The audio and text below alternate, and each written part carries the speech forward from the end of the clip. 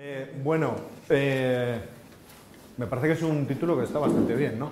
Por lo menos para llamar vuestra atención o intentar eh, ver de qué podemos hablar, porque mi intención no es tanto contaros algo, vengo a contar cosas, pero no sé si van a ser muy importantes o no.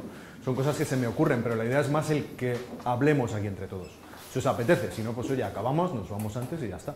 Pero bueno, me presento, soy Caín Santamaría Ordañez. Eh, soy eh, socio y soy el director de proyectos web de Innovanity. Eh, vengo de las afueras de Bilbao, de la zona no conquistada de las afueras de Bilbao, es decir, Burgos Capital, porque el norte está, conquistado. Somos una empresa que nos dedicamos al desarrollo web, obviamente, y a dar soporte, comunicación y marketing a pymes, sobre todo. El cómo uno como, como yo acaba haciendo, pensando en dar una ponencia como esta, una charla, más que una ponencia. El que, el que bueno, el que yo por ejemplo escucho podcast, eh, estoy un poco, intento estar un poco al tanto de, de todo. Escucho podcast como, como, el que tiene Fernan y otros tantos más, como Mixio, por ejemplo. Y escuchando uno de esos, estaba, pues eso, yo tranquilamente y, estaba, y se me vino a la cabeza como decir, joder, creo que, que estamos a punto de, de, de estar en una, en una, en una extinción. Nos vuelve a, estamos llegando a una segunda extinción, una segunda extinción de desarrolladores y programadores. Eh, y lo vi, pues bueno, porque vi varias señales y digo, bueno, eh, un poco como, como en esta peli me vino así, no sé, no sé si está muy borracho, ¿no? Pero me venía, me venía la idea de que teníamos un apocalipsis, se acaba una era y vamos a empezar en otra. En la anterior eh, hablábamos de Gutenberg, que va a marcar otra nueva era, pero yo os voy a hablar de otra cosa que tiene que ver con WordPress, pero no tiene que ver con WordPress. Y hablo de una segunda extinción, pero es que e igual algunos os preguntáis que es que ya ha habido una extinción de desarrolladores y, diseñadores. Pues eh, sí que la ha habido, obviamente. Entonces, ¿a dónde nos tenemos que remitir? ¿A qué era nos tenemos que ir? Obviamente a los locos 90, en los que las cosas, pues eso, era, todo se hacía para imprenta, eh, teníamos, eh, pues se programaba solo para ordenadores, no se conectaban entre ellos, teníamos monitores de tubos muy gordotes y, y los ordenadores eran de plástico beige, en vez de ser negros.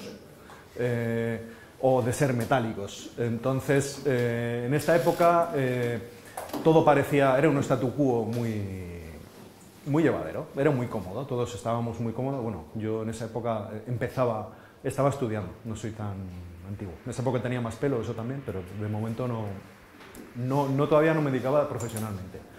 Entonces, eh, a partir de aquí, a partir de finales de los 90, por lo menos es cuando yo me, empecé a entrar en Internet y a conocer Internet, llegó Internet y cambió todo. Lo cambió todo y todos los que se dedicaban profesionalmente al diseño y a la programación eh, tuvieron que replantearse su vida, por así decirlo, eh, porque lo rompió todo. Entonces, eh, una de las principales cosas que sucedieron fue que llegaron a los programadores, les llegó el PHP, les llegó el código abierto, les llegó la posibilidad de crear, ¿os acordáis del PHP Nuke eh, y algunas de esas cosas eh, que se hacían, que hacíais los programadores y demás? Pues bueno, pues a los diseñadores nos llegaron las tablas. Eh, y empezamos a tener que diseñar con tablas. bueno, obviamente hubo una extinción. Pasar de diseñar para imprenta con nuestros ordenadores a diseñar para Internet y tener que pensar en tablas y sin CSS, que yo lo he hecho, eh, fue un cambio que nos obligó a, a, dos opciones. O seguíamos siendo una especie pura o nos hibridábamos, es decir, nos convertíamos en híbridos. Y en esa época, no estoy hablando, estoy casi hablando ya de 2000, por así decirlo, finales de los 90, el 2000, eh, nos empezábamos a plantear, y todavía mm, parece mentira, pero nos lo seguimos planteando, el, un diseñador tiene que aprender código, un desarrollador tiene que aprender a diseñar, tiene que aprender a hacer colorines que no duelan en los ojos, pues eh, igual sí, todavía seguimos. La cuestión es que de esta, de esta primera, de esta era, por así decirlo, pre-internet, eh, solo quedaron los híbridos, o solo hemos quedado los híbridos.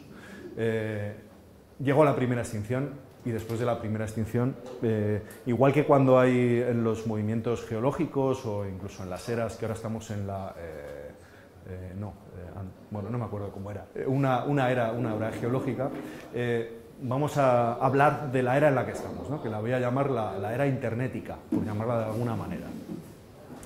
en esta era lo que mm, se caracteriza Eh, pues bueno, sobre todo eh, pues porque eh, estamos todos muy cómodos ahora mismo, estamos evolucionando, hay mucho movimiento y demás, pero yo creo que están llegando unas señales que nos puede llegar, que nos está llegando una segunda extinción. Nos puede llegar una segunda extinción en la que vamos a tener que cambiar el cómo pensamos y el cómo trabajamos. Lo primero se está produciendo ahora mismo una nueva relación del el usuario y la tecnología a través de interfaces conversacionales, es decir, de voz y de texto. No quiero dejarlo solo en voz, sino que eh, también eh, a través de texto se está conversando o los usuarios están empezando a relacionarse con la, tecnología de una manera más natural, lo que se llama lenguaje natural. La segunda es que gracias a ello la tecnología está siendo más accesible, eh, más accesible que no es lo mismo que adquirible, es decir, que es más fácil para personas que tenían dificultades físicas, simplemente para acceder a la tecnología, ahora lo tienen mucho más fácil. Por lo tanto, hay mucho más mercado.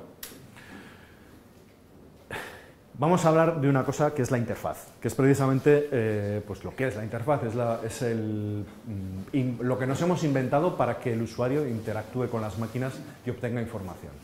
Eh, un repaso rápido de cómo ha evolucionado la interfaz y en qué punto estamos empezamos con esta interfaz que era la física y visual y que si lo pensáis, estamos aquí igual todas las personas que estamos bastante acostumbrados, pero el tener eh, una pantalla que miras, que miras así y tener las manos sin poderlas ver y tener que manejar sin ver tus manos algo que manejas sobre la pantalla, ahora nos parece bastante natural, pero realmente es muy antinatural. ¿No os acordáis de la primera vez que os pusisteis delante de un ordenador?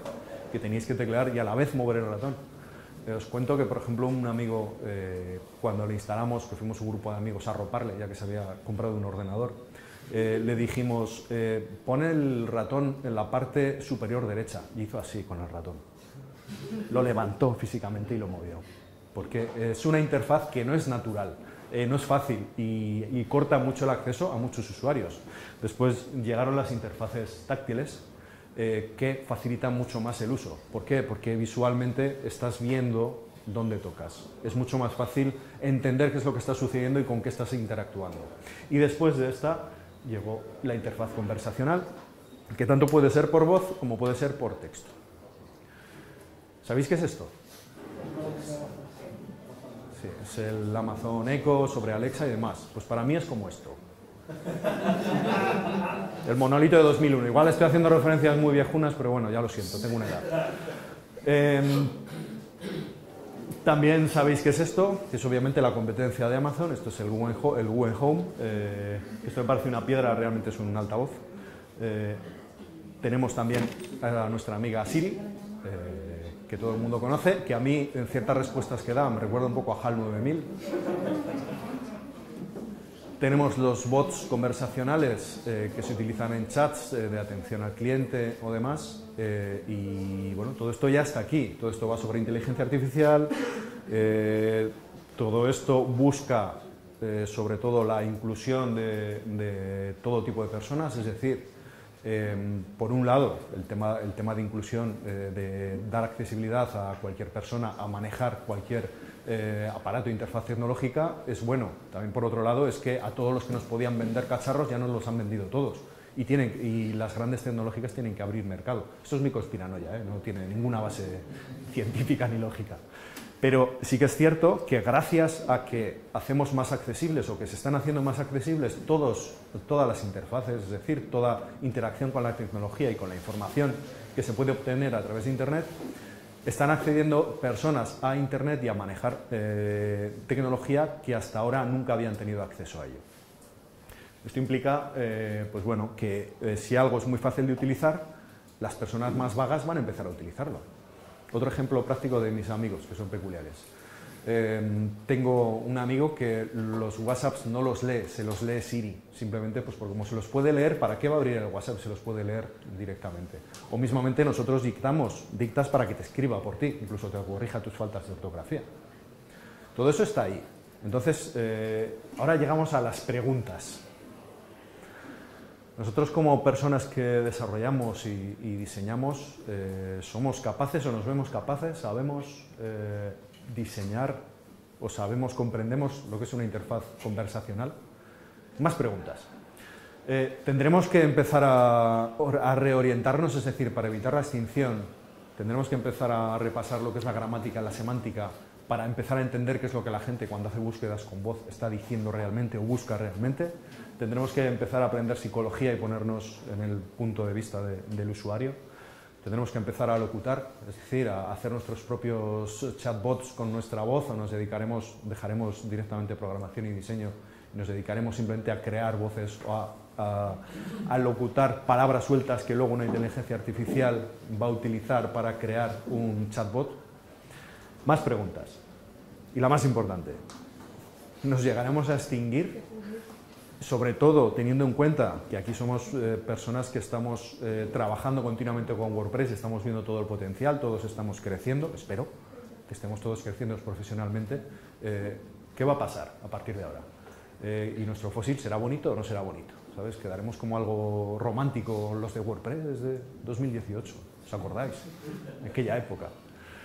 Eh, entonces ya vamos a meternos un poco, vamos a centrar un poco más el tiro y ya que estamos en una WordCamp vamos a hablar de WordPress o preguntas que yo tengo para WordPress. Insisto que estos son dudas que tengo, o sea, realmente no tengo una idea clara de hacia dónde eh, podemos ir y qué nos aporta WordPress y os quiero lanzar ideas que se me ocurren si WordPress está realmente, eh, puede realmente interaccionar con interfaces conversacionales. Eso implica el interactuar con inteligencias artificiales o con chatbots mismamente, y el cómo estamos utilizando WordPress.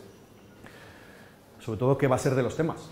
Eh, si dejamos de utilizar, si todo se vuelve conversacional y todo es texto, es decir, una de, los, de las cosas que más me asombran y que he visto demostraciones es el cómo consigues, ya no hablo de la última que hizo Google, de que hace una reserva de un, no sé si la, si la conocéis, eh, que hizo una reserva de una peluquería directamente a la inteligencia artificial llamando por teléfono y hablando con una persona. Hablo simplemente el del cómo puedes con un chatbot eh, reservar un Uber o cualquier servicio que es sencillo en el que simplemente te da opciones y tú vas interactuando por chat, por Telegram. Ahí no hay diseño, hay cero diseño, no hay nada visual, es totalmente texto.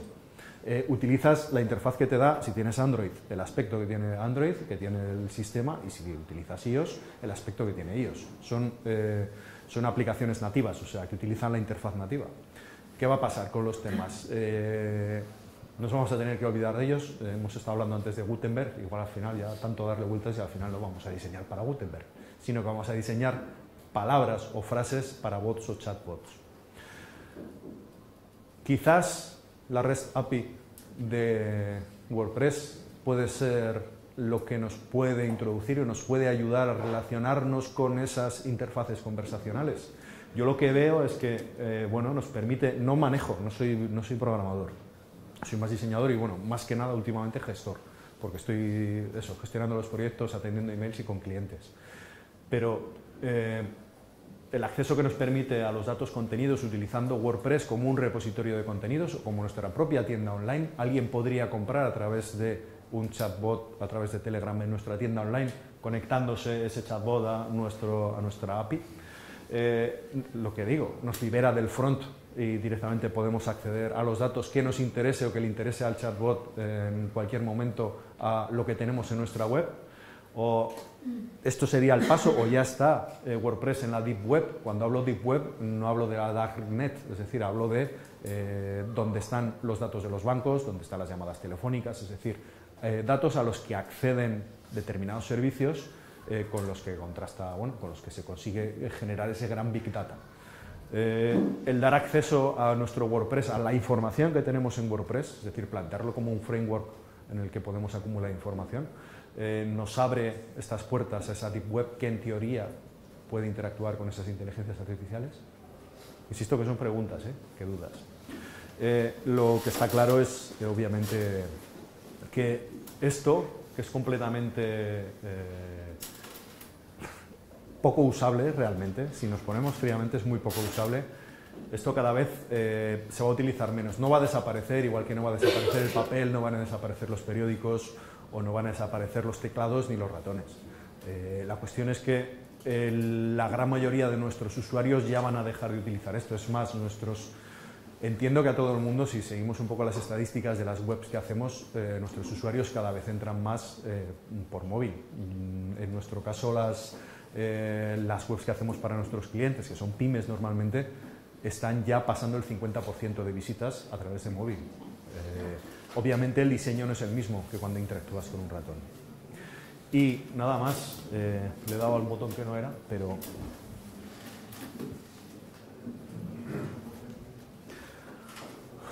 Formaremos parte de la segunda extinción, sí o no, y hasta aquí. Ahora me gustaría que me, de todas esas preguntas que, que, que he lanzado, el, si tenéis alguna idea o no, si lo habéis pensado alguna vez, por lo menos si lo habéis pensado. ¿Sí? Esto es, esto es foro libre, ¿eh? casi es para hablar entre nosotros, eh, casi hablar entre vosotros y yo escucharos, porque es que, es que no tengo ni idea. decir es una opinión. Eso es, eso es. Eh, Madrid, hubo un debate con, yo no me acuerdo ya quién era, Mm. estaba Rocío Valdivia de, de Tomás. Sí. El caso es que eh, lo que planteaba que Gutenberg bueno, pues ha sido todo un tema de debate intenso también, pero que un par de años atrás no fue la Restapi. Mm. Mucha gente decía, uff, esto es una barbaridad, esto nos aleja de lo que es la esencia de WordPress y televisión. Y si podemos llamar a WordPress un framework, porque conceptualmente lo es, eh, el, eh, WordPress con, con la REST API es como pasa a ser como un sistema operativo. Mm, Yo prefiero estar eh, cerca de WordPress, aunque se vaya modificando con el tiempo, y seguir trabajando en ese entorno que, que se extinga. Entonces, a mí me parece que es- yo creo que nos, transformaremos como en la primera extinción, y unos quedarán y otros no, obviamente, pero WordPress lo que tiene que es que cada vez está creciendo más. Hay espacio para todos, para los que montan, para los que programan, para los que diseñan, para los, los que usan eh, Visual Composers y para los que usarán un próximo.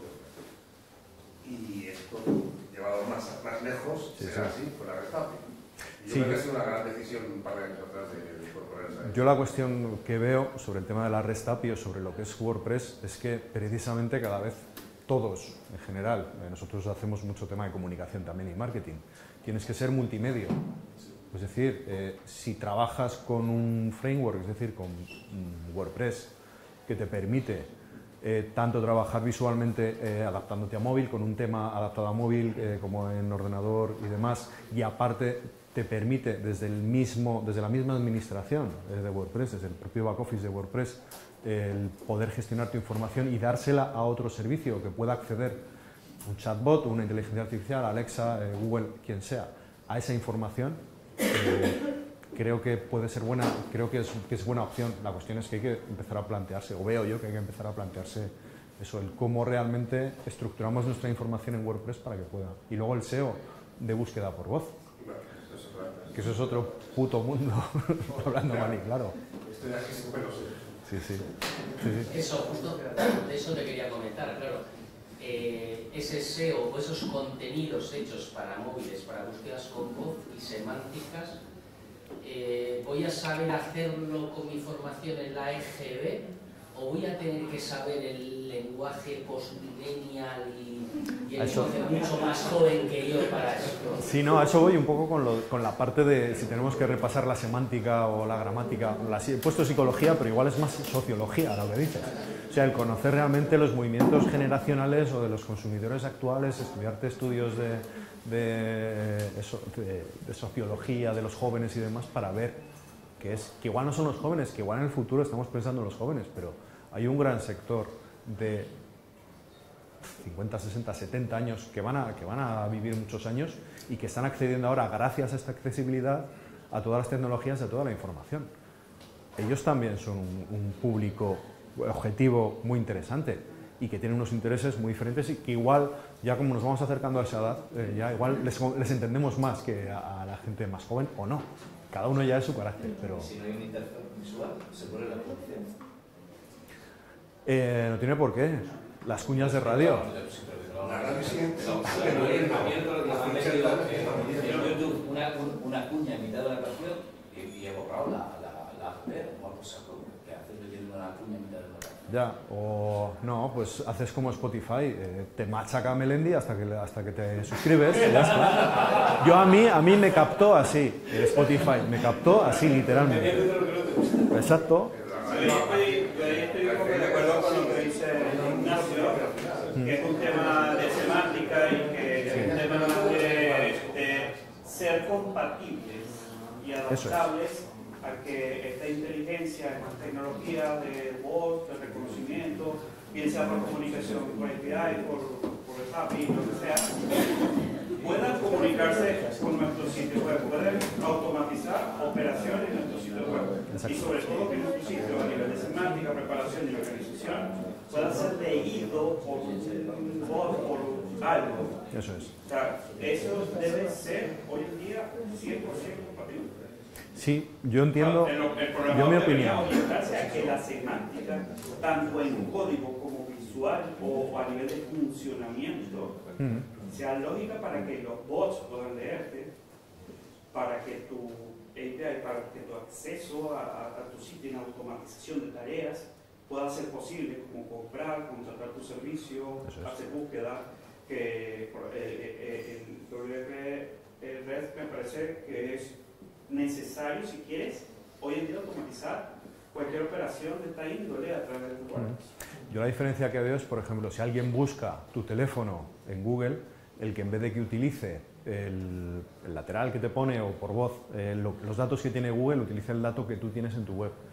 Insistimos con el tema de la web, la web abierta, la web libre, la web que no está controlada ni por Facebook ni por, ni por Google, sino que los datos los podamos controlar y que accedan primero a nuestros datos, esas Siri o cualquier otro asistente de voz que coja el dato de nuestra web en vez de lo que tiene Google, que obviamente primera, la primera puerta de entrada va a ser Google, pero bueno, el saber que eso que podemos ofrecer, ya no hablo como como creador de contenido, sino ya hablo como profesionales que damos servicio a empresas para que vaya mejor su negocio, que es el objetivo realmente de, de, los, de los, servicios que, que, tenemos que ofrecer como profesionales.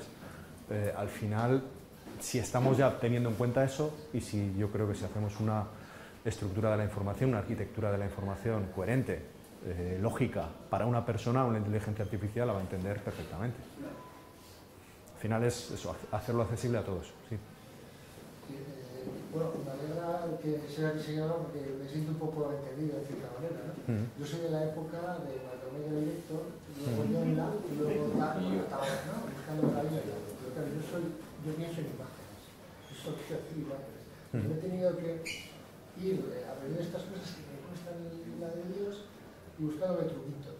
Yonla mm. me busqué el Artistic, que me hacía acá, con Walker me buscaba el evento, y ya no sé, pero yo soy, o sea, pienso en imágenes creo que, que, creo que lo va a pasar. No, no, es que haya una extinción, sino que ya se va a delimitar de verdad, como era en nuestra época. ¿Tú sí. eres diseñador o programador? Igual que lo de UX y demás que está ahora de moda, que no, si eres researcher, que si eres UX, que si eres... Yo, creo que vamos tres.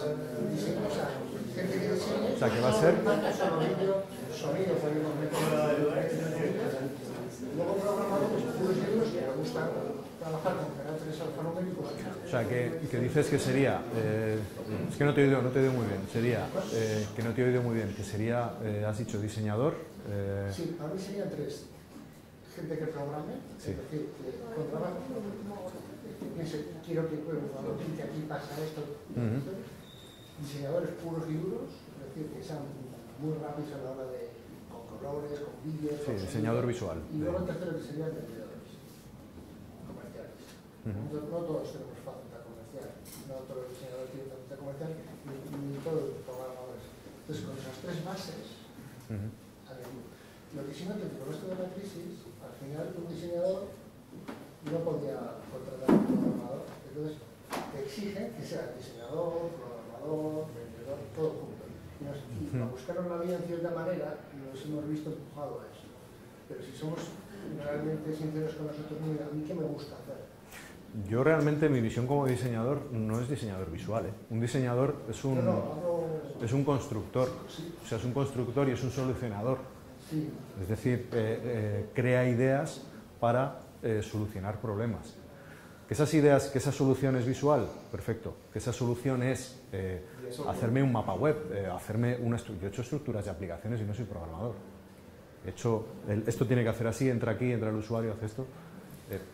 Y eso yo lo considero diseñar. Entonces, es más el concepto que tenemos los, que empezamos en visual, del organizar información, el aplicarlo a el decir, bueno, ahora estoy hablando de semántica, ahora estoy hablando Ahora tengo que pensar en textos. Igual nos tenemos que empezar a, plantear el cómo escribir guiones. Los libros que hay de escribir guiones para aprender a estructurar información. Por eso digo que veo que hay muchas posibilidades abiertas y que tú dices que igual nos vamos a empezar otra vez a concretar, yo todo, todo lo contrario, que el concepto de tus capacidades de diseño las puedes aplicar a cosas que no son visuales. Y eso es lo que yo veo, ¿eh? y que yo, he- yo he probado y ha funcionado relativamente bien. Sí, O sea que, quizás no me he explicado bien. Diseñador me refiero también a incluir la estructura de información, pero cuando yo traspaso lo que, la idea que tengo y me hago esa estructura, lo hago gráfica. Sí, yo hago, un- yo hago unos post-its, hay unos, me hago unos pedazos de... HTML ¿no? Me refiero un poquito. Y lo mismo digo para el vídeo, y con esto que estás comentando también, el, el- el sonido esta interacción, ¿no? Lo Sí. de- La inteligencia artificial. Entonces voy un poquito, voy un poquito por ahí, porque yo me estoy encontrando con muchísima gente durante todos estos años que, bueno, es que yo empecé con diseño y estoy haciendo intranets de sé qué pero es que Sí. no, no me gusta, o sea, no, me encuentro que no, que no me va, ¿no? Hay gente que solo le gusta diseñar. Sí, sí. Y con lo que has comentado aquí se me ha ocurrido una definición, la acabo de descubrir, pero bueno, soy un psicólogo organizador de píxeles, ¿no? por, por definirlo de alguna manera. Psicólogos somos todos, cuando tratas con cliente eres muy psicólogo. Sí, sí, sí. Sí. Y coach. Sí. Sí, pues bueno, en principio esta era la idea de la charla, ¿eh? nada más era el que comentemos un poco, salir un poco de WordPress y hablar un poco de concepto, ¿no? de quiénes somos eh, y a dónde vamos, quiénes somos, de dónde venimos y a dónde vamos. Antes de que nos extingamos nosotros, se extinguirá el acento, la B, la V, la H. Eso es otra de las cosas que me preocupa bastante, porque a mí, si os fijáis, en esta tipografía... Vaya, se ha roto. Bueno, la semántica va a ir a, nuestro o se va a, entre comillas, constituir al nuevo nada, eh, si os fijáis aquí en la... No lo sé. Sí, bueno, por eso no digo entre Vale. comillas, ¿eh? no sé cómo explicarlo. No constituir, sino cambiar a, lenguaje. Si te fijas la, la- el, Tú acentúas las mayúsculas, muy bien. Yo, hombre, es que siempre hay que acentuar las mayúsculas, joder.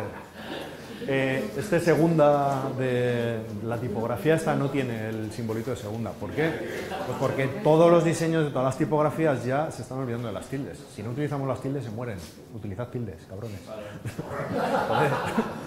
No, y lo mismo, es, es así, o sea, al final, obviamente, todo va a tender a homogeneizarse, por así decirlo, pero hay que también luchar por lo diferente. Y haciendo bien, presentando bien nuestra información como diferente, nos vamos a diferenciar y vamos a comunicar mejor. Y se va a conservar lo que tenemos. Y bueno, eso es. Muchas gracias por participar.